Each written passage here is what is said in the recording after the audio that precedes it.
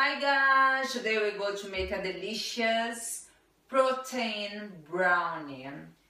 It's really simple to make it. You just will need one egg, one tablespoon of yogurt, sugar and sugar or stevia, whey protein USN, cocoa powder, baking powder, and nuts. The first step, you go to put the egg in the cup.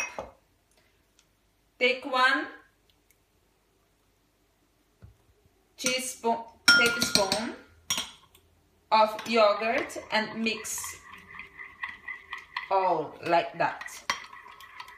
Now, one tablespoon of sugar sugar or stevia, one scoop of USN, one teaspoon of cocoa powder, and half teaspoon of baking powder. You go to mix all together just like me. When it's all mixed up, you go to add the nuts.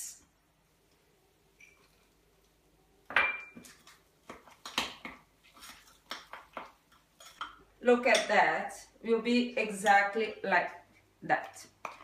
After all mixed up, you go to add, you go to place in the microwave for 30 seconds.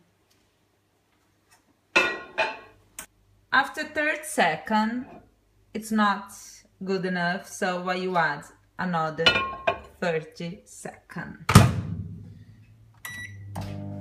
All done guys, after one minute, look at that, so delicious. Protein. Brownie. All done guys, on the top, whey protein, USN with a little bit of water and chocolate.